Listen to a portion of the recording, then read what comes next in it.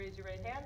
I, Breanne L. Knutson, I, Breanne L. Knutson, having been appointed as police officer having been appointed as police officer in the city of West Bend, in the city of West Bend, Washington County, Washington County, swear that I will support swear that I will support the Constitution of the United States the Constitution of the United States and the Constitution of the state of Wisconsin, and the Constitution of the state of Wisconsin, and will faithfully discharge and will faithfully discharge the duties of said office the duties of said office to the best of my ability, to the best of my ability, so help me God. so help me God. Congratulations.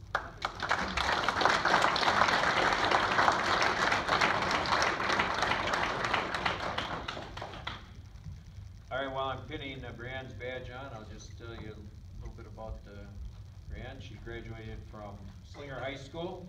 Uh, Shortly after graduation, she started at Concordia University. She's got a four-year degree that she obtained in justice and public policy.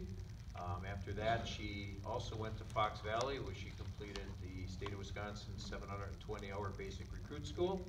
Um, While she was finishing her senior year at Concordia, they had to do an internship.